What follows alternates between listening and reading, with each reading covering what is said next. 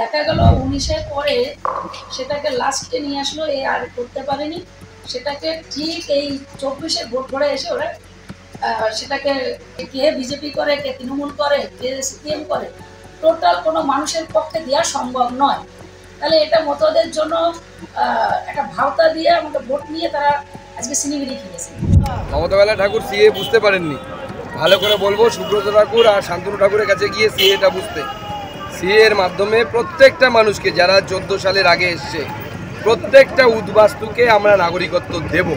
যে পাবে না তার দায় আমাদের আমরা তাকে করিয়ে দেব।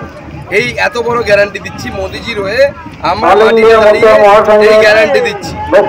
আরও নাগরিকত্ব নিয়ে এক ইঞ্চি অসুবিধা হবে না হলে পরে আর দায় আমাদের এবং আমরা ঠিক করব। সব মাই চায় মেয়েকে রাজরানীর মতন সাজাতে সাজিয়ে তুলতে চায় সোনার গয়নায়। ওরিয়েন্ট জুয়েলার্স সোনা যা সর্বক্ষণের মমতাবালা ঠাকুর সিএ বুঝতে পারেননি। ভালো করে সুব্রত ঠাকুর, শান্তনু ঠাকুরের কাছে সিএ এটা বুঝতে হবে। মালদার গাজলে মমতাবালা ঠাকুরের সিএ নিয়ে করা মন্তব্যের প্রসঙ্গে বৃহস্পতিবার এমনটাই বললেন বিজেপি প্রার্থী সুকান্ত মজুমদার। গাজলে সভা করতে এসে অল ইন্ডিয়া মতুয়া মহাসংঘের সংঘাধিপতি মতুয়া উন্নয়ন পর্ষদের চেয়ারম্যান তথা রাজ্যসভার সাংসদ মমতাবালা ঠাকুর এক সাক্ষাৎকারে বলেন, সিএ এখন বুমেরাং হয়ে ফিরছে বিজেপির কাছে। তার কয়েক ঘণ্টা যেতে না যেতেই তপনে মতুয়াদের নিয়ে রোড শো করেন সুকান্ত মজুমদার। রোড শো শেষে সুকান্ত মজুমদার জানান, সিএ এর মাধ্যমে নাগরিকত্ব দেওয়া হবে। কারণ নাগরিকত্ব নিয়ে এক ইঞ্চি অসুবিধা হলে তার দায় তাঁদের। গঙ্গারামপুর থেকে বিপ্লব হালদারের রিপোর্ট, উত্তরবঙ্গ সংবাদ।